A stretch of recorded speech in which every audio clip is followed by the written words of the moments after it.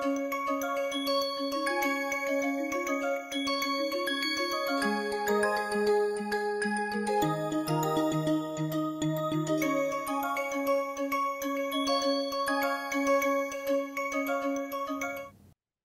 everyone. Welcome to the NPTEL course on remote sensing and GIS for rural development. This is week 8, lecture 2. In this week, we have been looking at the land use land cover and all the attributes and classifications that one needs to remember while discussing rural development. I have to say that the land use land cover data could only be satisfactorily given by remote sensing data. All the other data, maybe the people may um, argue that remote sensing is too coarse or it cannot be done, etc.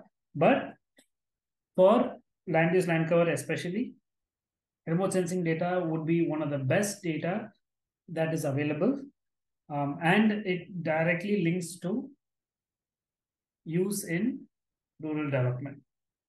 So we will continue the part of discussing the land use land cover. In the last class, we stopped here uh, on, on discussing about the um, land use and land cover differences. Uh, for example, on the left-hand side, you have the land cover, which is basically the cover on top of the land. Um, and it also includes the artificial structures such as buildings and urban areas whereas your um, right hand side is how that land has been used. Uh, the white part is where there's no data. Um, however, if you look carefully within the uh, mapping, uh, I just wanted to make sure you understand that in the left side, it was pixel. Each pixel has a color and that color is coordinated by the legend. You can see the classification given in the legend at the bottom. Here, this part. On the right hand side, the land use, uh, what they have done is they have taken a district uh, or a block level analysis and within the block what is the major crop they have taken if rice uh, so as per the legend uh, if uh, the yield of rice is a particular value let's say the yellow value they put yellow so what happens here is one should remember that how you represent data in remote sensing is very important not throughout the district is going to be uh, yellow color for rice across Rajasthan. Uh, but um, it, it is the majority, the yield is the majority in that particular district. That is what you should understand as per the visualization of land use land cover. So same thing here, each pixel, inside the pixel, what is the dominant uh, land use land cover we have seen. This will become more evident when we are going to discuss the aspects of land use, land cover, and some real-time analysis using Bhuvan and NASA data. For land cover classification systems, um, it is recommended to use this uh, given by FAO. So this is available on the FAO website, this book. Um, and uh, as as I said that it is based on a particular year. So here the conclusion given this report are considered appropriate at the time of its preparation. So there is a timestamp on land use land cover because it can suddenly change. For example, Nepal was uh, uh, having a lot of land um, and springs uh, before 2015, but after the 2015 earthquake, a lot of springs vanished a lot of water bodies vanished, right? So uh, you cannot use what map was used in 2014 on 2018 because of the land use land cover change. Uh, it is not appropriate. So always every single land use cover and classification follows a particular time frame. And this is given by the FAO, this book, uh, the software. Uh, and the software, they, they have some links to a book on uh, the classification system um, how it has been classified. It's a free open source software. Uh, you can just Google uh, LCCCS FAO and then you will find the links to this beautiful software that you can install. Uh, as I said, uh, it may be for a particular region and a particular time period. Uh, so you cannot use it across unless you know the linkages. Um, let's say, for example, the people consuming kiwi. Uh, kiwi uh, has been a big phenomena as a horticulture crop in the recent decades. Before that, kiwi was very expensive. You will only find it in high-end supermarkets, but now you can find it on the road. Uh, same as strawberries. Uh, it was only at high-end supermarkets in, in 10 years ago. Now you find it on the roads uh, um, in, in uh, Mumbai, for example.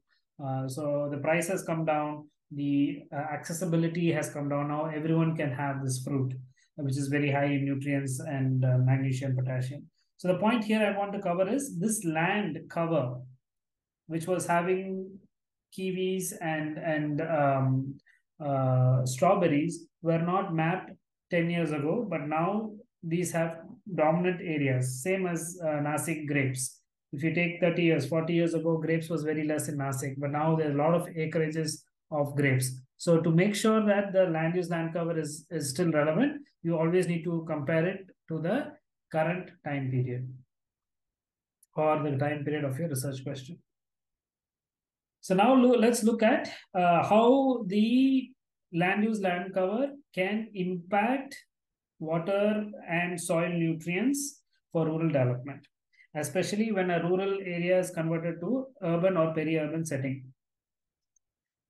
This place where I'm taking this lecture, Powai was also kind of peri-urban, outside Mumbai city. But uh, because of the IIT Bombay's establishment, uh, around the area, the land converted to urbanization. For example, if you go outside the gate of IIT Bombay, it is called IIT Market.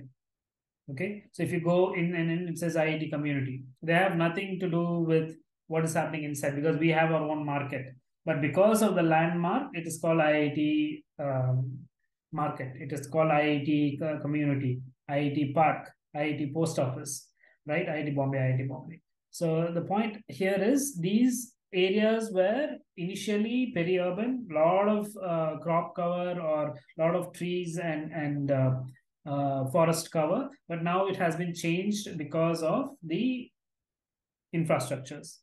Uh, the same thing happens in rural areas, but at a drastic drastic change here maybe some forest was cleared they say or uh, some barren land was converted to iit bombay uh, but in a forested area if you convert or a rural area if you convert it has implications on the water and food security because the land that was producing rice, paddy, uh, wheat, and vegetables is now converted to buildings. So you're not going to eat concrete, uh, but um, the produce is coming down, the price is, is um, going up, and the stress on the farmers is going up. So let's see how the, this impact happens.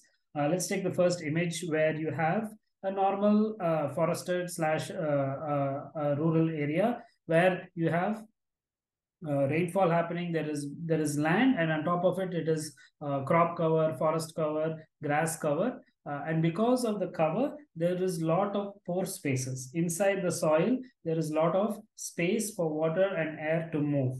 So you have natural ground cover and within that 20 if 100% rainfall comes in 25% goes in as infiltration 25 goes as deep uh, infiltration. So the shallow infiltration is something like soil moisture, the plant use, crop use, tea, uh, trees use. The deep infiltration is what goes into the aquifer. Then uh, after the 50%, 10% goes as runoff.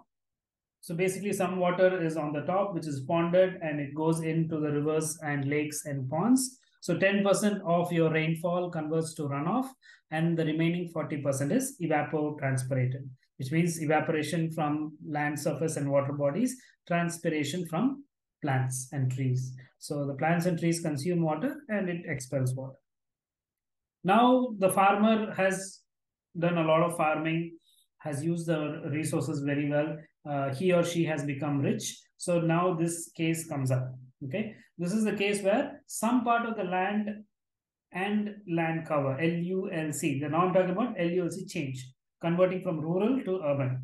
So now you see that the farmer has become rich. Uh, so maybe the community is building a house. Uh, once you build a house, you, there are other associated things that come with it. For example, you will put a road, you will clear some land for you to um, park your car, tractor, and other things. Uh, and also some land in front. If you go to villages, you will see there'll be always a land in front of the house. It's just not like As soon as you step out of the house, you'll see a field or a forest. There'll be a big land area in front of the house, uh, which has been cleared. It's barren land. So now part of the land is converted to barren, part of the land is converted to house, and the remaining is kept as in uh, as a forest slash uh, uh, ecosystem. Uh, now what happens is water comes in, but not all 50% goes into the groundwater and soil moisture. There is a big cut. So because now you have increased the impervious surface as 10 to 20%. What is impervious surface? It is a cover on top of the land which prevents water from penetrating, impervious to water. Okay, so as I said, concrete jungles like Singapore, you won't see water flowing into the cement. So there are some technologies where it allows the water to go, but most of the roads, most of the buildings will not allow the water to go through. So now you have limited the uh, or, or, or cap the water that can go inside the surface uh, by putting a impervious cover. Okay, it's like a plastic wrap on top of a fruit. If you put water, it won't go in. Uh, same thing, if you put a road on top of a soil, uh, the water will not go into the road and into the soil. Very less will come. So there is water coming, but very less compared to the 25%. So if you add it, it's only 42%. There's a 10 to 20% increase of impervious area.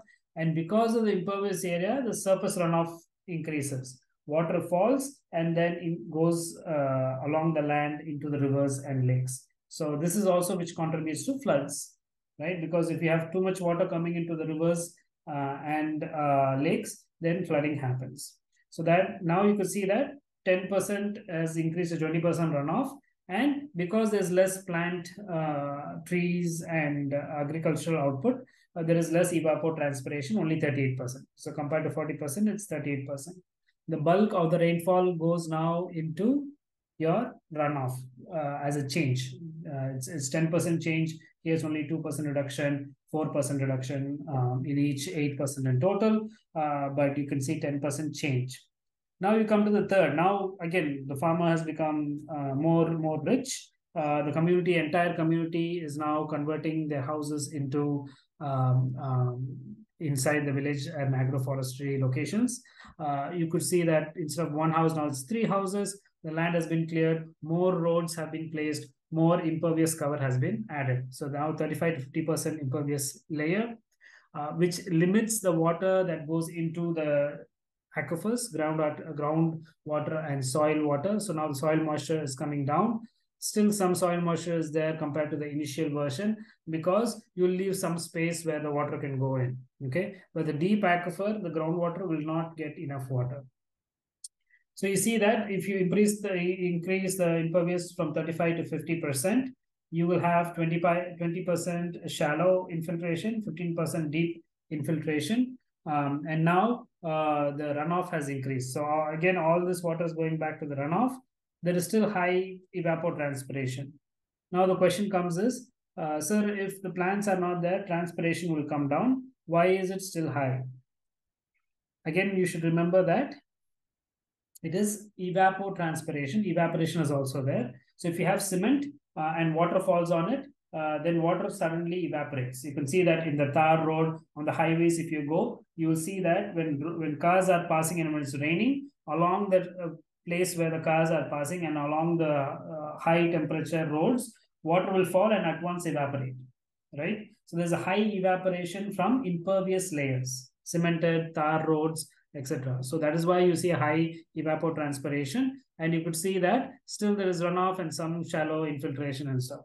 In the last one, now this is like the case I said, uh, the IIT Powai region from barren, it has now become into a fully industrialized uh, fully urbanized location. Same like the Chennai um, region, the peri-urban, which was rural, now is becoming more Chennai. Uh, suburban has become urban. So in that case, 100% is impervious, 75 to 100%. Very, very less water goes into the shallow infiltration and deep infiltration. Again, these are small cracks, small spots where they have rainwater harvesting and stuff. So you have only 15% going into the ground. Uh, whereas the 30% evapotranspiration still holds because um, uh, all the land is now converted to cement cover or impervious cover uh, and the majority goes as runoff. Now, if you look at it, you can look at how a piece of land has converted across rural to urban uh, and how the water and soil dynamics will change. Most importantly, the floods. The floods affect agricultural output a lot because the floods will damage the crops and then there is a lot of uh, crop damage. So all this has to be documented um, and it is documented by using land use land cover. Again, LULC maps play a vital role in scenario analysis. We will showcase that in, in the following lectures. So you could see here that because of the land use land cover change, the water plus nutrients that are in the soil are going to come down, uh, which will affect uh, the productivity of rural enterprises. And also, uh, you will see that um, um, because every farmer wants to live in a good house, which is not uh, something that we should stop them. Uh, but is it done sustainably is the question and or converting a rural region into a fully urbanized region is the question so moving on, uh, now we have understood the importance of LULC. Now let's come to issues in mapping the land use land cover. Uh, we have spatial issues. For example, the uh, land uh, holding size of a farmer, average land holding size of a farmer in India is only one hectare. So approximately one hectare, 1.08 something. Uh, but the problem here is uh, your resolutions of the data that you have that has been mapped and put in uh, satellites and other resources is at the order of 50,000, 250,000, 10,000, etc., which is approximately 60 to 90 meters, 30 to 90 meters per pixel. Okay, so uh, you could now understand that one hectare is going to be difficult for mapping of these areas uh, and uh, that is one very, very big issue in the spatial terms. In the temporal, um, you could see that uh, there is no seasonal maps. Why is seasonal important? Seasonal is important because you need to know how many crops are grown. Suppose we have an area and in that area you are putting uh, rice. A farmer puts rice. Okay. Uh, after some time, after the rice harvest, before the next rice, they will put a vegetable, a cotton or legume. This is not mapped in the government records. So all the land use land cover you could see is still using a lot of government records for mapping. Uh, but government record cannot go at every single farmer, every single one hectare and then map. However, this cumulatively will have an impact on rural development because water, subsidies, uh, fertilizer, all these are given at rural um, entities uh, level. So if you are not mapping them correctly, then the demand and the use of fertilizers and water in the soil conservation is not taken to account. So there is a lot of temporal issues in the data. I'm talking about observation data and data that is freely available. So the, the goal of this lecture series is for you to understand the potential of remote sensing data and use remote sensing data for your analysis, rural development and other scenarios. So then you have annual. So most of the data are at annual level. But if you look at the examples given here, you can see that this is current. I can also open the Bhuvan portal and show you. You can see that the current available data is only 2015, 2016, which is approximately seven years from today. Today is March 2023, uh, and you're looking at a data which is seven years old. How is that good for doing any policy recommendations or land water uh, uh, conservation in rural areas. It's very, very important. Also, if you're going to look at road connectivity using a 2015 map and you find that farmers or Manrega has already put down the roads, uh, how are you going to have the maps updated? So these are big issues in temporal level data acquisition for land use land cover in India administration boundaries are always differing. Uh, the data do not agree at administrative boundaries. Maybe they're doing at block scale, and then on the map it is at district levels. They don't know or they don't have the data at district, so they just do some average. So all these map making uh, metadata issues and concerns are not correctly given. As I said, there is a lot of data issues uh, uh, especially when it comes to sharing data in sensitive regions. Let's take, for example, the coastal regulation zones, uh, in particular Mumbai region. In Mumbai, you have a lot of uh, naval activity along the coast. Um, because of the naval activity, there are allied industries and housing which are being set up along the coastal zones. This has an impact on the rural fishing communities, right? But if you want to map all this, you need them to share data, which is very, very sensitive data they cannot share. Same as in Ganges Water Basin, the floodplains, uh, the transboundary regions. All these are highly rural uh, development related areas, but uh, getting the data and sharing them is very, very difficult. Um, this is purely because of how the systems have been set up. Not all areas, but at least 10 to 20% of the data is considered sensitive.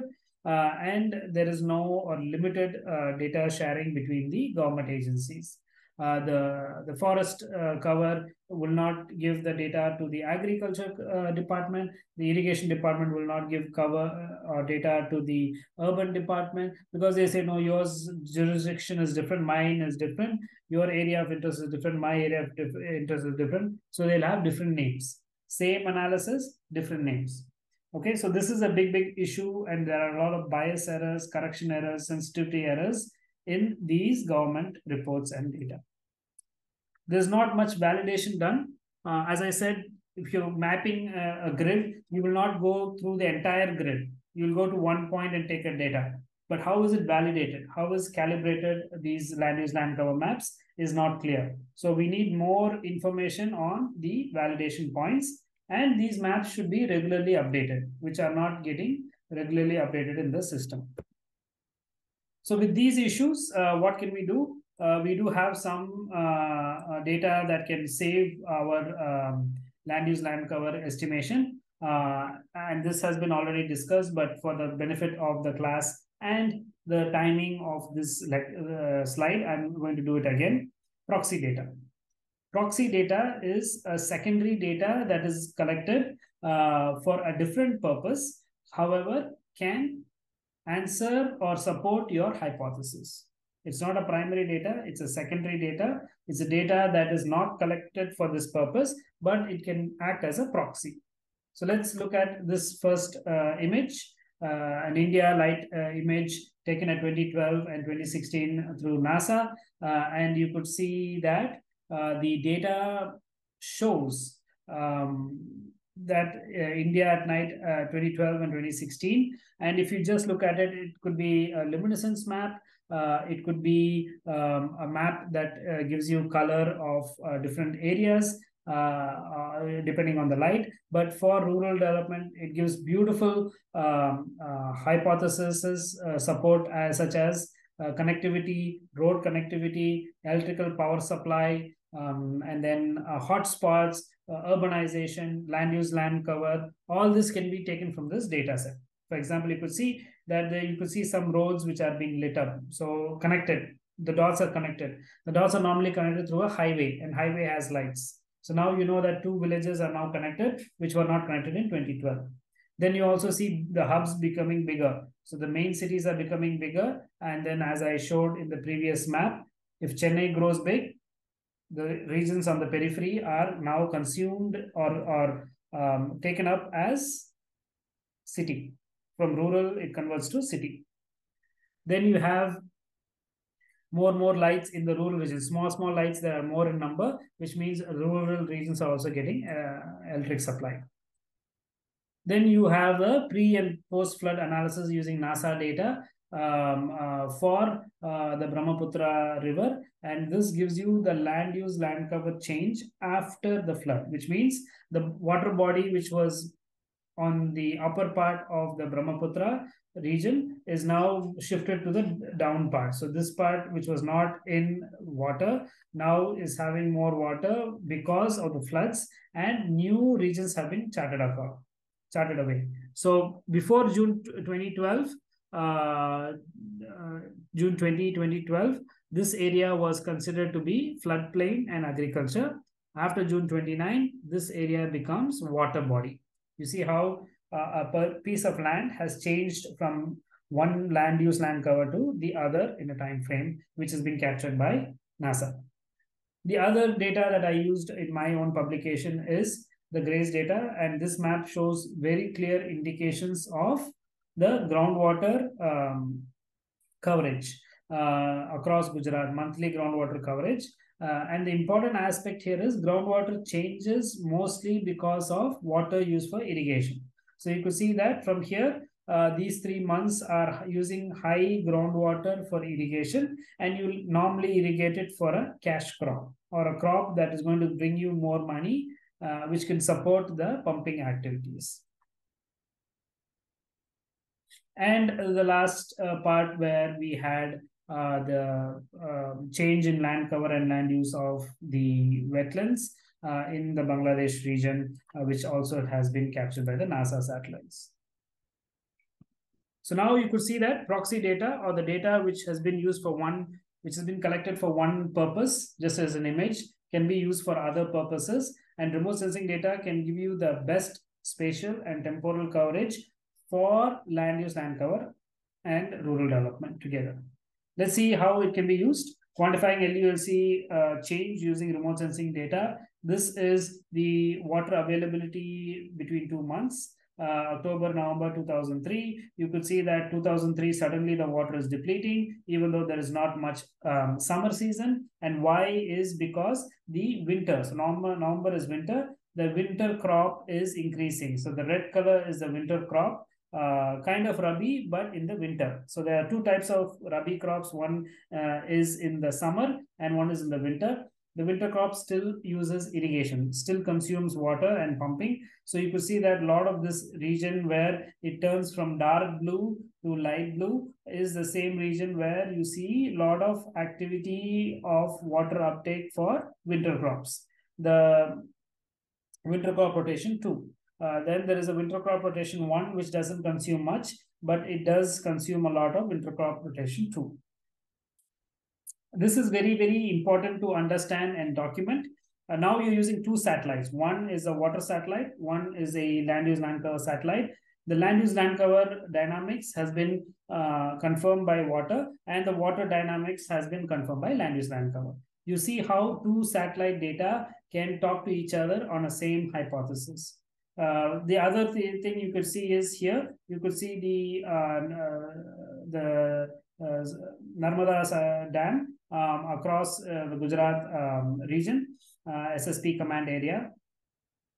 And you could see that uh, if the height of the dam is uh, increased, the command area gets more water uh, and the command area is also mapped as a land use because initially it was barren land but because of the channelization of water the land has been converted to agricultural use and you also put water bodies, canals in the land cover. So now the land use is very, very different because of the uh, more availability of water, which is given in the command areas.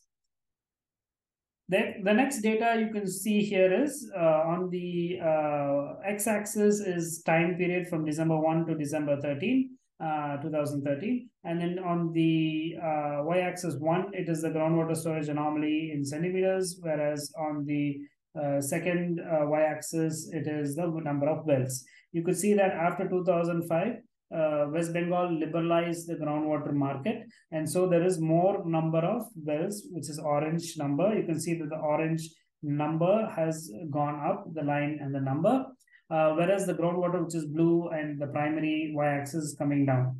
So the hypothesis is as the water uh, now access through wells has increased or the number of wells has increased, the groundwater comes down.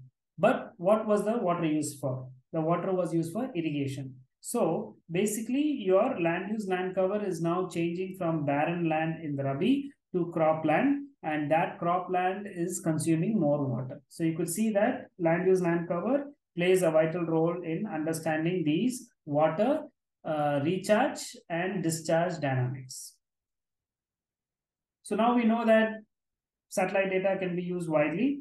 And so what uh, the ISRO and NRSC does, the National Remote Sensing Centers, Hyderabad, uh, Bengaluru, uh, Ahmedabad, all these uh, centers, what they do is they collect these um, satellite data. Here they're using multi-temporal uh, AWiFS data, which is a particular sensor uh, through the, the um, uh, ISRO portal. And they make maps. So what do they do? They collect uh, and uh, survey data. They use a lot of remote sensing data, which is satellite-based, uh, drone-based data. They procure a lot of imageries uh, and then do some plot scale surveys, sensors, and then use proxy data to map maps of land use, land cover for the entire Indian uh, region. It has very limited key classifications, which is generic in nature. However, the data is available. So you can take the data and reclassify. The data is same. But for example, they have 10 classes. Uh, let's take for this example. Okay, let's take this example. You say dark green is forest, light green is uh, agriculture, and white is snow. That's it. Just three land use land covers. However, the same coloring can be used for multiple more classes. Let's say dark dark green is forest, and then light green is uh, forest, uh, deciduous forest. Uh, this is Western Ghat forest. Uh, this green color is different from this green color. So those kind of things. So it is up to you, the user, uh, who will tell how many different colors are there or club the colors and then make classes or is classification. To move on, Google Earth Pro has uh, a lot of these data embedded. Uh, it can be used on the Google Earth Pro uh, desktop version, uh, mobile version, and the um, uh, online version. Uh, we always use the desktop version that we have shown in the previous um, examples. What we have done is we have demarcated an area. For example, I've shown IIT Bombay um, and how IIT Bombay has converted from one land use land cover to the other. Okay, so uh, I can also um, uh, show the same content uh, in a different uh, platform. Uh, for example, we have uh, we can show how the um, Google Earth Pro has evolved using a lot of data and dynamics, right? So it always and I also told that you have the the um, time tool that you can use to go back and front uh, in in time and space, and then identify the land use land cover. So uh, let me uh, share my Google Earth Pro and show um, a small example before we conclude. I'm going to show IIT Bombay. Uh, and once we click OK, uh, the map goes in.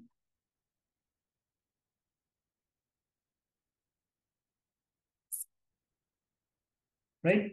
So this area is the lake area, the water body area as per land cover.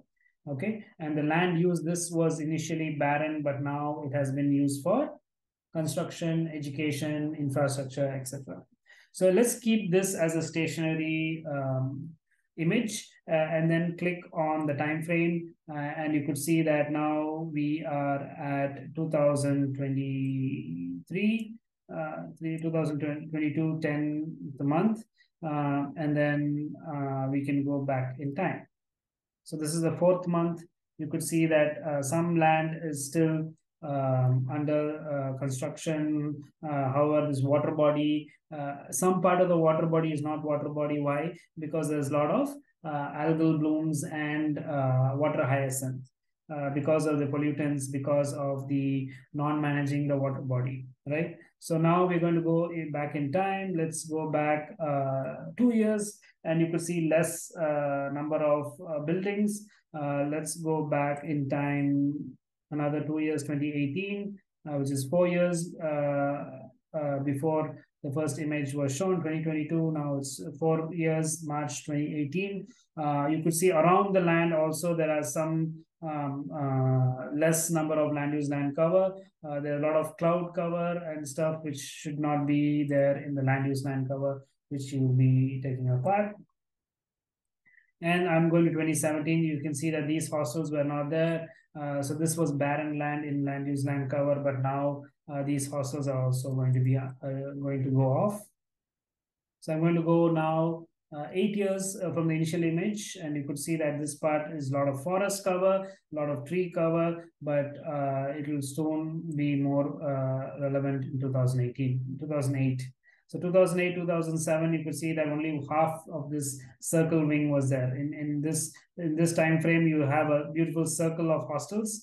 Uh, but in 2007, uh, uh, 2003, let's go back, you can see that these lands were still not having much hostels. Very, very small number of hostels. The size was small there, and the land around it was reserved, reserved as uh, um, green cover um, and a lot of um, forest and trees uh, were preserved like these small small forest lands were still preserved and the earliest we can go is 2000 there's nothing here. You can see there's no construction no hostels. This land was barren uh, with some lot of tree cover so now you could see that how a google earth pro you fix it on a single land. You can draw the boundary and then within the boundary you can qualify uh, saying that okay 10% of this land was uh, uh, under forest as 60% uh, was uh, under the institution uh, because IIT Bombay is from 1960s, right? So you have